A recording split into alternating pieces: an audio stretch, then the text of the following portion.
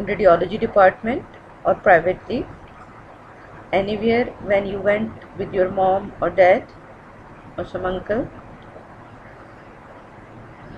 How beautifully the images are displayed on the screen and there is no pain in the procedure. Basically the ultrasound is a non-invasive procedure and it is operator dependent there is no radiation or harm in it so it can be done in the pregnant female which is called fetal well-being ultrasound.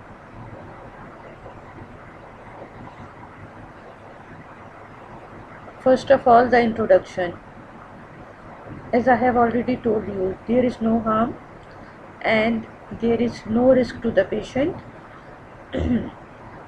It is least expensive than the other procedures or investigations like CT, and it is portable. Sometimes uh, when it is needed in the ICU or emergency departments we can go and do the portable ultrasound at bedside.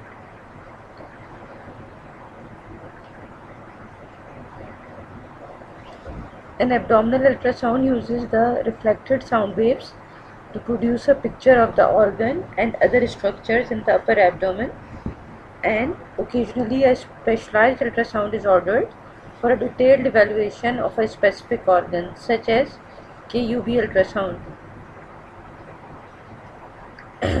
Basically all the magic is in the transducer. It has uh, piezoelectric crystals which causes the sound waves to be displayed and the images obtained. There are different types of transducers, linear and the, sometimes it is um, uh, curvilinear or sometimes it is the um, uh, uh, longitudinal type which is uh, used for trans uh, vaginal or transrectal ultrasound we can also do B scan which is the orbital scan by the ultrasound. What can we see with the abdominal ultrasound? It is used to evaluate the liver which is the large dome shaped organ and lies under the rib cage under the right side of the uh, diaphragm and in the abdomen.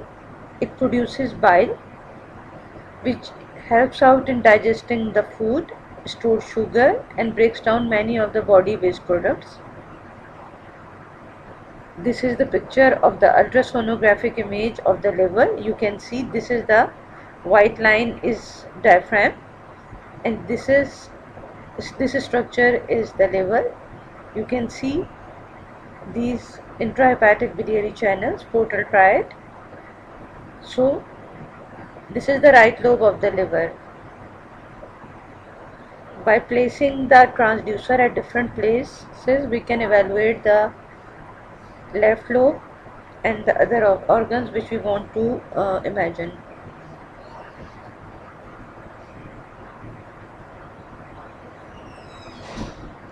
Abdominal ultrasound can evaluate the gallbladder also which is a sac-like organ beneath the liver. It stores the bile and helps in digestion especially helping in the absorption of the fat soluble vitamins. Usually we ask the patient uh, to come NPO means fasting at least for 8 to 10 hours so that we can evaluate the gallbladder uh, clearly. Otherwise it can be seen as a contracted structure when patient has taken the meal. You can see this is the gallbladder and you can see this thing. This is the neck. Spleen is also evaluated by the abdominal ultrasound. And it is a soft round organ that helps fight infection. And it is located under the left hemidiaphragm just adjacent to the stomach you can see this image this is spleen this is spleen these white things are different bowel shadows There are multiple artifacts also seen due to ribs, due to the bowel gas shadows and the abdominal fat fluid etc. Pancreas. Pancreas is also evaluated by the upper abdominal ultrasound. It basically helps to digest the food and the enzymes are released into the intestine and it is ma its main function is to uh, release the insulin into the bloodstream which helps out in utilizing the sugar of the for the energy. You can see this thing is pancreas. This thing is going this this is pancreas. This is the CVD then kidneys which are also evaluated by the abdominal ultrasound and they are bean shaped organs and lies retroperitoneally we can also do the ultrasound of different uh, vascular structures like Doppler of carotid, Doppler of renal and Doppler of iliac vessels. Um, in fetus we can do the fetal, valve fetal uh, middle cerebral artery uh, Doppler ultrasound. So um, Doppler imaging looks at the artery and we can get, get the image and trace the pattern of the blood flow. Like in this thing, this is the lumen of an artery. We put flow in it, into it. This is uh, red, it is artery and the parameter is set here we can see the pattern of the flow. We can see this duplex waveform pattern. Okay, in the how how the waveform is formed. If there is any uh, difference uh, seen in the pattern of the this uh, waveform we can identify the pathology. This is a healthy artery and the flow is smooth and all in the same direction. This thing but if there is some luminal narrowing, some atherosclerotic sclerotic plaques or some other pathology in the intima, we can evaluate it. This is the ima imaging of the liver. This is, you can see the liver parenchyma. The terminology which we use in the ultrasound is echogenicity. It can be isoechoic if it seems like uh, the liver parenchyma. You can see this thing gray, gray, gray. If it is less than that, it is hypoechoic and if it is brighter than that like white, it is hyperechoic. So there is a well-defined hypoechoic or cystic area seen in the liver in the right lobe and it is simple hepatic cyst. Hepatic cyst. Again hepatic cyst. But in this cyst you can see some echogenic foci, this thing, within the lumen. So this can be an infected cyst. When you see some echogenic foci or debris, you this can be an infected cyst hydatid cyst. It can be a well-defined structure with some echogenic material and a thick wall. So it can be the daughter cyst inside and it is a case of hydatid cyst seen by the ultrasonography. Then some neoplastic lesion. Usually the benign lesions are uh, well defined and the neoplastic lesions are ill defined or infiltrative in appearance. You can see this thing, it has lobulated appearance and it is infiltrating into the adjacent liver parenchyma. So we put some flow into it, Doppler flow and you can see this pattern blue and red and some sort of orange so it shows the vascularity. Then hepatocellular carcinoma. It can also be seen by the ultrasound. So it shows some irregular wall and heterogeneous pattern. Then cirrhosis. As you know the cirrhosis causes the liver to shrink and form, forms different nodules so the, the margins of the liver are nodular and irregular. The whole liver is shrunken and nodular with irregularities at its margin. This is a known case of cirrhosis of the liver.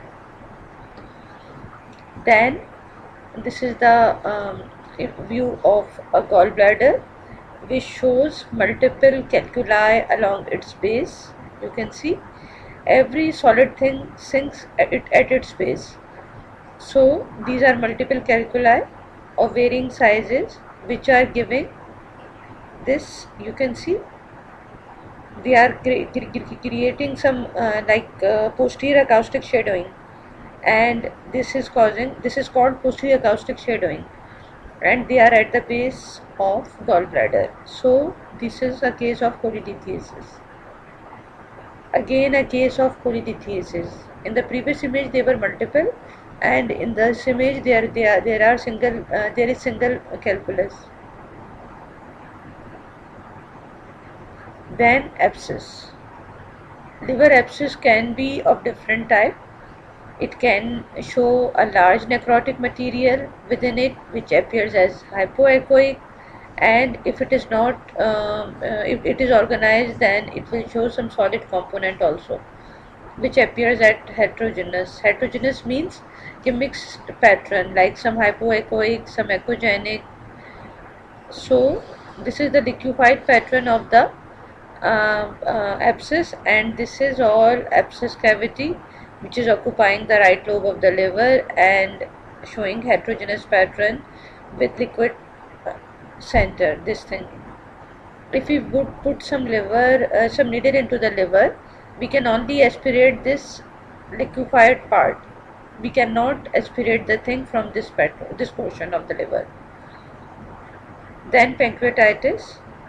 Pancreatitis is the inflammation of the pancreas and in this the main thing is the pancreas is enlarged. So there is diffuse enlargement of the pancreas and when it is enlarged it shows some exudative material around it. So we can see some fluid fluid thing hypoechoic thing around it.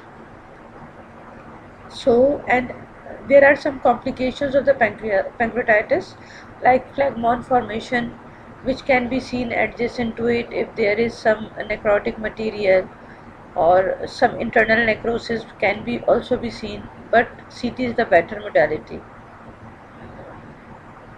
then pancreatic abscess. You can see this liquefied pattern and this irregular pancreatic wall. So pancreatic abscess can also be picked. This is the phlegmonous collection uh, with areas of internal necrosis. Then this is the spleen. When we turn the transducer into opposite size, a side, we can see the spleen even on the right side. It all depends on the operator how he or she performs the uh, uh, imaging and sometimes to see some uh, pathology we have to rotate the transducer. So this is the case of simple hepatic cyst. This thing it is a well defined thing hypoechoic and this is the spleen. Then splenic infarct. Now you can see the beam is coming from the uh, below and we can see this thing infarct. Infarct is hypoechoic and wedge shaped and usually it touches the subcapsular or capsular surface in the periphery of the spleen. Then appendicitis. Appendicitis is again the inflammation of the appendix and the patient has all the symptoms of uh, right hypochondrial pain right iliac fossa pain sorry. Uh, and all uh, tenderness and sometimes raised WBC count. So in the ultrasound we can see a tubular organ which shows the inflamed appendix. Normally we, we are unable to see it uh, by the ultrasound. And it shows we have to measure the wall. The wall thickness is more than 3 or mm or 4 mm and the length of the appendix is more than 1 cm then we label it as a appendicitis case. Sometimes we can see periappendiceal fluid or sometimes if the appendix ruptures uh, we can see some periappendiceal collection or sometimes we can see the appendicolith which is the cause of one of the cause of the appendicitis then sometimes we can see strangulation of the bowel um, it can occur in some cases of hernias internal hernias or external hernias there is invagination of the bowel loop into this uh, defect and the, the rest of the bowel might be infarcted means that the blood supply is compromised and we have to put the Doppler flow to see the image of the rest of the bowel. Hernia. We can also see the defect uh, in the anterior abdominal wall or within the adjacent uh, inguinal regions etc to see for the uh, hernias also. Hernias can be internal or external. Then this thing fluid fluid is white, uh, uh, black I have show, uh, told you earlier it is hypoechoic blood if it occur if it is seen in the peritoneum or abdomen it is hyperechoic like this. But this is not the blood these are the bowel loops which are seen dispersed in the large ascites means fluid in the peritoneal cavity. So this is the large ascites and these are the different echogenic bowel loops. Then if, if uh, we are evaluating the kidneys then you can see the this is the capsule of the kidney beautifully seen. And these are the pelvic calyceal system basically calyces of the kidney. And this is the renal fat area hilum of the kidney. So you can see this is the these are dilated prominent. So this is a case of hydronephrosis. Calculi appear as uh, echogenic foci as I have already told you in the um, cholelithiasis they are rounded or some uh, can adopt any pattern and they give posterior acoustic shadowing. This this these lines are called posterior acoustic shadowing. This is the cortex this is the medulla. You can see this is calculus and causing posterior acoustic shadowing. So this is a case of uh, nephrolithiasis. Then pyelonephritis. Sometimes the infection in the kidney can cause prominence of the pelvic calyceal system and sometimes there is loss of corticomedullary distinction with dilated uh, fluid filled uh, renal uh, pel uh, pelvic calyceal system and the nephrons and the calyces which can contain some debris within it due to infection. Then bladder calculus. As I have already told you, the calculi settle in the bottom or in the base.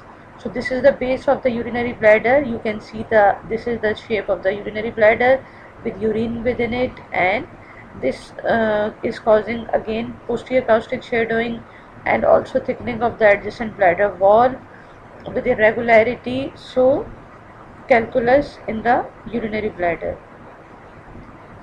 then you can see this is the ultrasound of the urinary bladder. This is the completely the urinary bladder. And there is some soft tissue density area soft tissue echogenicity area mixed density. This is the soft tissue echogenicity. And you can see it is arising from the posterior posterior wall of the uh, urinary bladder on the left. And it is projecting within the lumen. And patient might have the symptoms of hematuria. So even ultrasound is so important tool giving the preliminary diagnosis although we have to do the CT or MRI and other cystoscopy to take the biopsy for the patient uh, but uh, this is the first clue because this is the baseline investigation which is not giving any harm to the patient. Then hydrocele testicular ultrasound you can see this is the testis but in the scrotum there is so much fluid collection which is called hydrocele now CT of the abdomen. What is the intended learning outcome? Basically the student should learn at the end of this lecture some cross-sectional CT anatomy of the abdomen and the pathology. As I have already told you this is the transverse scan. Basically all of you have done your uh, postings in the radiology and I have given so much emphasis in the planes because this is the imaging cross-sectional imaging. So we have to adopt the image in three planes like axial like in the sagittal and in the coronal plane. When we take the image from anterior-posterior in the transverse dimension it is called axial imaging. And when we they took the image in the coronal plane from top to from front to um, um, back it is coronal imaging. And when we took the image from the side then it is sagittal image. It can be uh, we have to set the window level and window width in the CT and the slice thickness is also set by our technician and usually we um, uh, patient to patient it might be varied like in cases of um, uh, pancreas uh, pancreatic protocol we uh, took uh, 5 mm or 3 mm slices and slice thickness is 3 mm or 5 mm and sometimes we set it into 10 mm or 5 mm pattern in normal other imaging of the abdomen. Basically, we will deal only with the emergency radiology like trauma, hemoperitoneum, injuries to the major viscera and some non-traumatic emergencies like intestinal obstruction, appendicitis, GUT, perforation, etc. We also deal with the ascites and peritonitis. Now, first of all uh, the CT scan of the upper abdomen. Excuse me.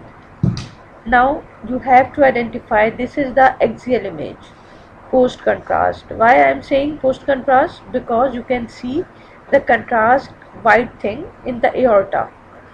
This is the vertebral body. These are the posterior bony elements and these are the ribs. You can see the terminology which we use in the CT scanning is the density. As we measure different things in the different Hounsfield unit, we have to give uh, isodense, hypodense or hyperdense terminologies. So in this case, we can see this heart, this is the heart portion of the some portion of the heart and this is the liver and normally it should have attenuation like this this but we can see there is a linear hypodense area is going from this surface of the liver up to the this surface and it is extending up to the capsule also. So this is a liver laceration and we grade it uh, differently in the whether this is grade 1 2 3 or 4 so you don't have to go into the uh, so much detail. But this is the liver laceration patient has motor vehicle accident. Then this is the liver normal liver. This is the spleen. This is the stomach with air fluid level normal pattern. But we cannot see this thing fluid around the liver. It is abnormal. It, is, it shows there is some ascites. Then there is some uh, air specks of air outside the ribs. And the lateral abdominal wall is so much thickened. The muscles are so much thickened. So definitely this is a case of trauma. And when we go to the spleen uh, adjacent to the stomach we see there is it is showing same a laceration or a linear irregular line extending from both surfaces of the spleen with some ill-defined hypodensities within the spleen parenchyma and irregular capsule with large subcapsular collection. So this is a case of splenic trauma, splenic injury. Then this is the liver this is the left lobe this is the right lobe this is the stomach and uh, these are the kidneys this is the aorta giving its branch this is the pancreas so there is irregular hypodense line which is going from the body of the spleen up to its duct but not injuring it. So it is again a case of spleen. This uh, spleen, uh, sorry a case of uh, um, pancreatic injury pancreatic laceration. This is the large bowel loop renal injury. You can see there is a laceration going from the kidney from its outer surface with a large some perinephric hematoma. And so the it is uh, crossing uh, the midline and going to the other surface. But the uh, pedicle is preserved means the renal artery is showing some attenuation and the rest of the kidney tissue is also showing attenuation. Attenuation means it is enhancing with the contrast the, while this area is non enhancing so it means this area is dead but the rest of the renal parenchyma is well preserved and this is the large subcapsular hematoma. Then this is again large pancreatic uh, laceration with um, peripancreatic hematoma and this is ascites. Then this is the gallbladder you can see the gallbladder wall is thickened. This echogenic this uh, uh, um, hyperdense line is the mucosa of the gallbladder. And there is a large collection into it. This is a case of cholecystitis. And it is causing inflammation and adjacent fluid with uh, there is also ascites seen then pancreatic pseudocyst. As i have told you in the ultrasound imaging when there is, this is the pancreas which is showing necrotic tissue and adjacent to it is the uh, large collection which is uh, showing peripheral wall enhancement and this is the pancreatic pseudocyst or phlegmon so pancreatic large pseudocyst resulting from the central pancreatic necrosis. Then cholelithiasis it can be you can see this lamellated calculus in the gallbladder. Then you can see this thing. There is uh, some uh, this uh, side of the kidney. You can see it is uh, normal. And the, this side, side the pelvic calyceal system is so much dilated. Basically the renal pelvis this thing this thing. And you can see also the dilated pancreatic duct here you can see. So if there might be when we see the further image it might might be the case of uh, like uh, PUJ obstruction. Then in the CT scan abdomen you can see the specks of air air is black in CT so you can see uh, the specks of air in the intrahepatic biliary channels and this is a case of pneumobilia then this thing you can see this large cystic area. This is basically the large gallbladder which is over distended and there is uh, uh, in the pancreas there are multiple areas seen. And with peri-peri uh, pancreatic and para-aortic lymphadenopathy which is causing encasement of the superior mesenteric vessels also superior, superior mesenteric vessel and also abutting the pancreas. Then you can see some diverticulitis. There is um, um, diverticular abscesses also.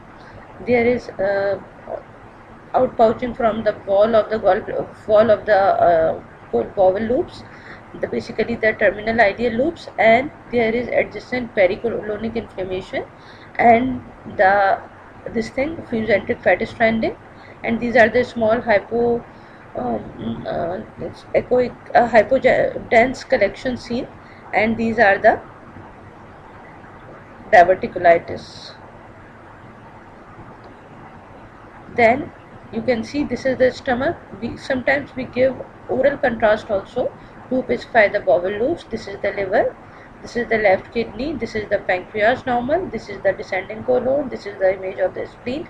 Actually in ct in single image we cannot give you the entire pathology because we uh, used to have workstation or multiple images. And then I can show you a single if uh, sometimes it is a case of pancreatitis I can show you just the pancreatic pseudocyst but there is some um, uh, like necrotic material or some internal necrosis of pancreas can be seen in the other image and some adjacent um, uh, like uh, nodes or adjacent things like ascites can be seen in the third image. So um, that's why I'm showing you the single image which is best seen for best pathology. You can see this this is so much like uh, this is enhancing renal parenchyma is enhancing and these are the medulla. This is cortex this is the medulla. But in this portion and this is the renal pelvis normal. But in this portion the cortex and medulla and this pelvis there is some soft tissue density mass which is showing minimal patchy post contrast enhancement. So this might be a some renal cell carcinoma. Then bladder and you can see some growth from the um, base of the urinary bladder which is projecting intraluminally into the um, uh, bladder and causing some obstruction so this is the case of bladder carcinoma. Then again a case of diverticulitis uh, outpouchings much better image and you can see peri diverticular fat stranding and this thing mesenteric fat stranding and these are the small small abscess formation with air fluid level. Then ulcerative colitis as you have uh, been shown previously in the previous some x-ray imaging okay there is a haustral pattern and the lead pipe appearance. So this is the CT scan of the pelvis and it is showing this uh, rectum and the, this is the sigmoid and it is showing thick wall it is showing thick wall but the entire colon is a ahaustral and it is showing some outpouching also which is called pseudodiverticuli this thing outpouchings. So this is a case of ulcerative colitis. There is so much inflammatory stranding seen then Crohn disease Crohn is again another inflammatory bowel disease and maximally it is uh, involving the terminal ileal region. But we can see the skip lesion in the rest of the colon also. We have given the patient oral contrast and you can see this is all bowel containing contrast but in the right iliac fossa when there is terminal ileum and this is the cecum there is so much thick wall with adjacent inflammatory changes and fat is stranding so it is a case of uh, Crohn's disease. Sometimes we can see uh, this thing um, the differential is usually the abdominal TB but the lymph nodes are more in the case of tuberculosis. Then sometimes um, you can see the different attenuation pattern. Mean attenuation means enhancement patterns of the liver parenchyma like the central is more enhancing the periphery is less enhancing and you can see you cannot uh, see the um, intrahepatic um, vein, the hepatic veins also. So, and there is also ascites and hypertrophy of the caudate lobe. So, this is a case of Budd-Chiari syndrome and there with uh, centripetal enhancement. Then, this is, there is a, some lesion in the segment 4 of the liver and there are few ill-defined lesions also there is bilateral pleural effusion seen with some ascites also. So this is a case of metastasis. Then this is again a CT scan of the abdomen and you can see this is the heart. You can see these are the vessels. This is the descending aorta uh, and you can see this is the gastroesophageal junction. It is so much thickened and it has lost its fat planes with the adjacent pericardia and the aortoesophageal interface is more than 90 degrees. Means okay it is going beyond the this thing this line 90 degree line of aorta. So this is a case of carcinoma of the esophagus. Then again CT scan of the liver and it is showing a well defined cystic area with multiple internal septations. This thing and daughter cyst this is a case of hydatid cyst of the liver. Then abscess. There is thick walled hypodense structure with enhancing peripheral wall and this is a case of liver abscess. Then again the hydatid cyst it can be single it can be multiple with internal daughter cyst. And this is a case of hydatid cyst of the liver. Then lymphoma. Lymphoma appears as multiple hypodense deposits in different organs with hepatosplenomegaly. So you can see different sizes deposits of different sizes in the spleen which is also enlarged. And you can see this these are the enlarged lymph nodes which are causing encasement of the superior mesenteric vessels branches of the aorta. And you can see this is the part of the IVC you, you can see. So large nodal mass with hypodense deposits in the spleen case of lymphoma. Then again uh, CT scan of the liver in triphasic pattern is a very good tool for the detection of the HCC, hepatocellular carcinoma. These are showing usually the arterial enhancement uh, in the arterial phase and the washout in the portovenous and delayed phases. So these are multiple hepatomas of varying sizes, multicentric hepatoma. Then you can see uh, next image uh, the nodular liver. The, this is the ascites. You can see multiple areas then again some retroperitoneal mass large retroperitoneal mass and it is uh, adjacent, causing significant compression over the left kidney left renal vein and left renal artery also and uh, also causing compression over the adjacent bowel loops and the pancreas also. So retroperitoneal mass which can be a sarcoma. Then there is a soft tissue density mass arising from the upper pole of the left kidney which is showing mixed attenuation means sometimes it is uh, in the internal areas it is showing hypoattenuation and there is patchy post contrast enhancement. So it is causing significant displacement of the adjacent organs and there is a hypodense area seen in the left renal artery also which is showing a tumor thrombus. So this is this a case of um, uh, renal cell carcinoma. Again renal cell carcinoma. Then sometimes uh, we can use different types of windows in the CT to evaluate the different structures. Like if I am seeing uh, I, I want to evaluate the abdominal structures like liver, spleen, uh, bowel I will would adopt or go to the soft tissue window sorry. If I want to evaluate the lung then I don't have to go to the soft tissue window. I have to change the window to uh, the lung window which is just a single click.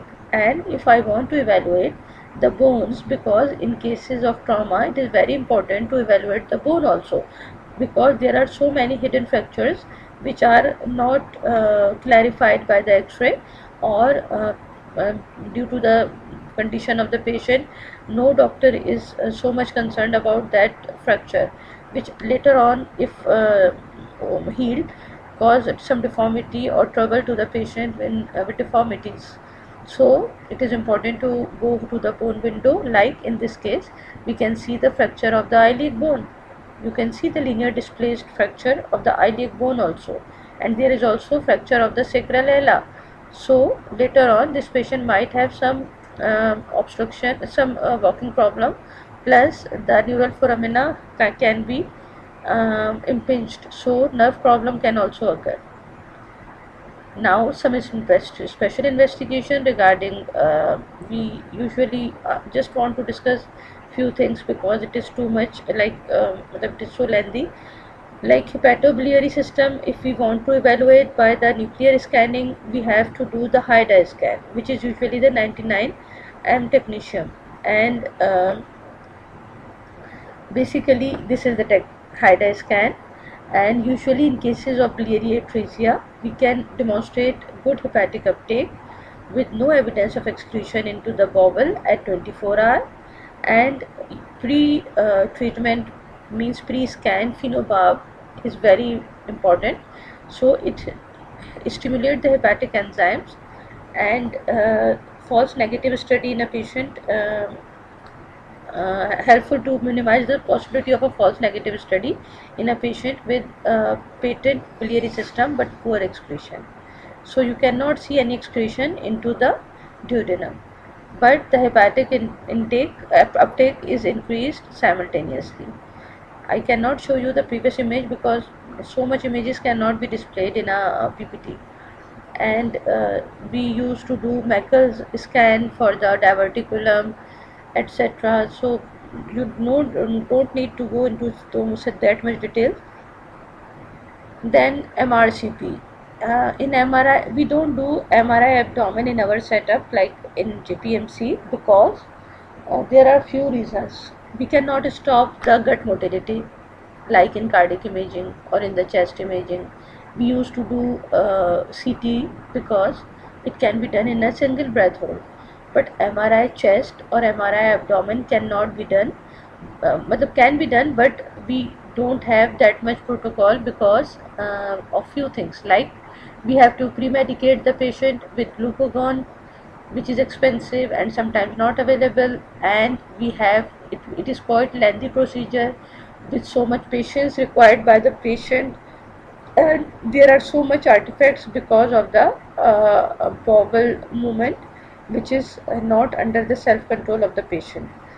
Uh, we can reduce it by giving uh, buscopan and some uh, like glucagon type of uh, drugs but these drugs cannot be uh, available so easily or cannot be purchased and it is quite lengthy. So many of the needed patients of some tumor of the like a tumor of the brain or tumor of the spine or other things can be missed. So if we will try to do the like uh, MRI of the abdomen, entire abdomen so we just do the MRCP which is magnetic resonance, resonance cholangiography cholangopancreatography basically. So uh, we will take only the heavily T2 images and uh, any pathology of the uh, biliary system is well defined. Usually you can see the gallbladder. You can see this thing the CBD you can see the right and left hepatic ducts and the it is all like so much beautifully um, Im Im imagination imagined and uh, they are well evaluated sometimes we can see this there is abrupt cutoff in the distal part of the CBD. So due to choledocholithiasis, we can see the um, like uh, nodular pattern. We can see the calculi in the gallbladder lumen and so much stricture. Basically, strictures, neoplasm, pancreatic pathology, congenital anomalies. We can do uh, the MRCP easily and we used to ask the patient just to have a pineapple juice before the scan and we do it. No contrast is, is needed in the MRCP examination. So this is the some brief uh, review of the same again the pathology. You can see the dilated CBD and all that. so um, we this is all about the MRCP and um, I think these these were difficult to grasp in a single lecture or something but uh, I have tried to cover it simply and uh, in a formative way so just read it and uh, I think you will be better able to understand these things okay